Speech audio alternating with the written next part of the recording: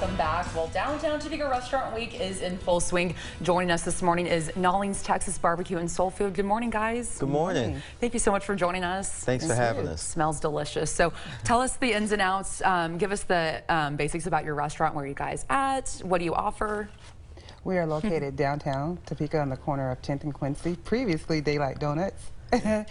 um, and we are here to present our Topeka Capital Stack is what we named this sandwich here. We had Yeah. all of their, everything resembles Texas because we are Texas barbecue. Okay. But we wanted to get something to resemble Topeka, so we had came up with this new sandwich here called the Topeka Capital Stack. That looks so good. And how long have you guys been in downtown? Um, four months. Four months. Yeah, four months. And how has it been? It's been great. Um, Topeka's really been welcoming. Uh, we've lived here for a little over three years, but we now feel like we're getting to know Topeka. Okay, great. That's yeah, that's great to hear. I need to check you guys out. This looks just so good. I can't can't even focus on the interview. I'm just focusing on the food. Um, talk about more specials you guys have coming up for Um, Restaurant Week.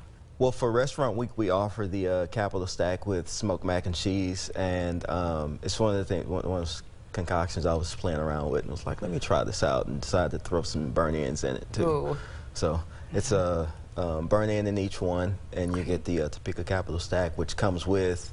Um, it's got four different meats on it. It's got brisket, pulled pork, shredded chicken, and hot link on it. Oh my goodness. And then you get to choose whether you want the regular sauce or our spicy sauce on it. Okay, what is the regular sauce? Um, my regular sauce is just your typical um, regular barbecue sauce, Okay. but then the spicy one, I just add a little kick to it. Okay, I'm looking at the sauce right now. What is the the white sauce? So uh, the toppings on it come it comes Oh. with the toppings of um, Okay. coleslaw, peppers, and pickles. You get to choose whether you want some or all of it. Oh, gotcha. Okay. Now, um, what does participating in Downtown Restaurant Week mean for you guys?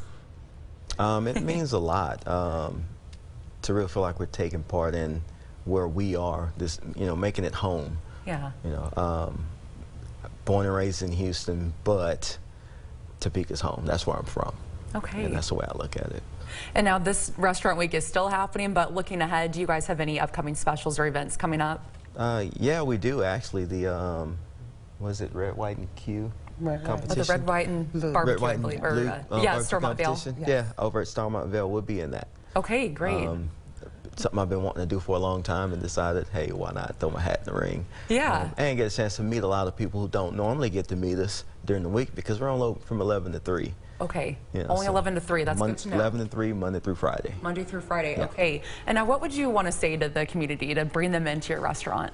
Well, we would like them to know that we have a different flavor of, we know Kansas is typically a, a lot of barbecue, but bringing the Texas style of barbecue here to Kansas is what we're hoping everybody is able to experience.